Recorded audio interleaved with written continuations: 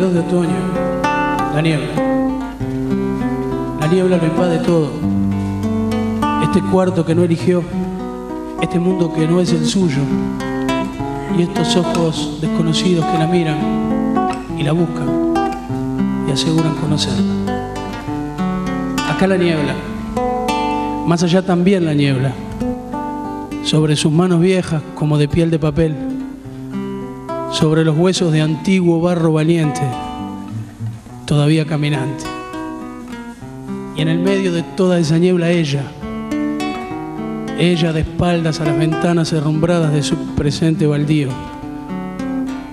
de frente al abismo de su pasado, al velatorio continuo de sus memorias desvencijadas, famélicas, suicidas.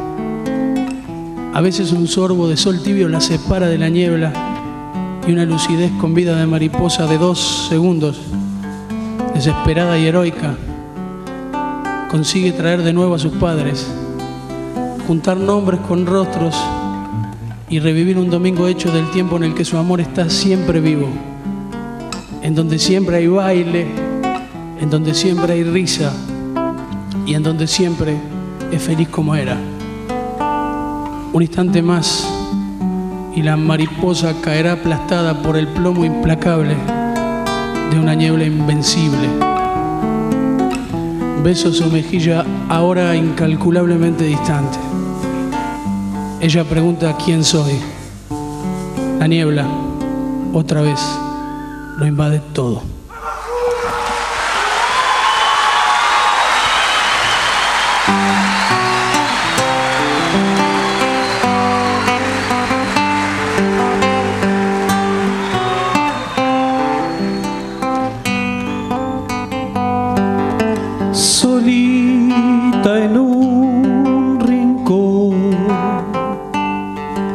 De un tiempo que murió.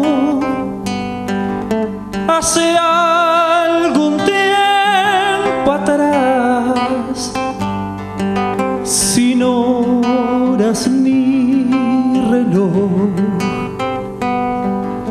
ausente en ese vals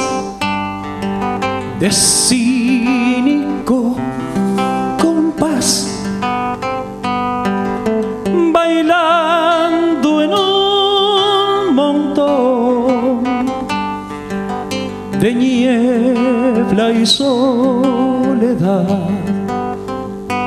Y yo no sé no sé cómo llegar. Y solo sé, tan solo sé cantar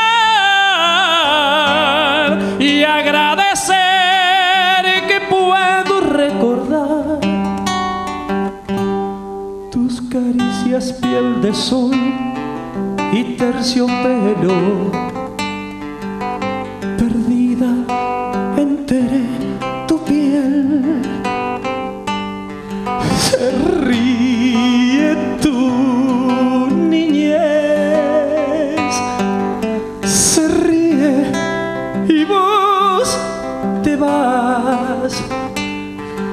te abrazo donde estés.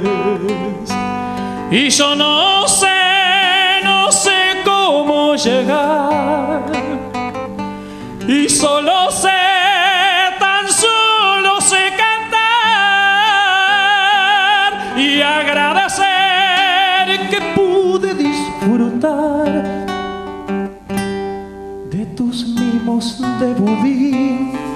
y caramelo, de tus mimos de budín y caramelo.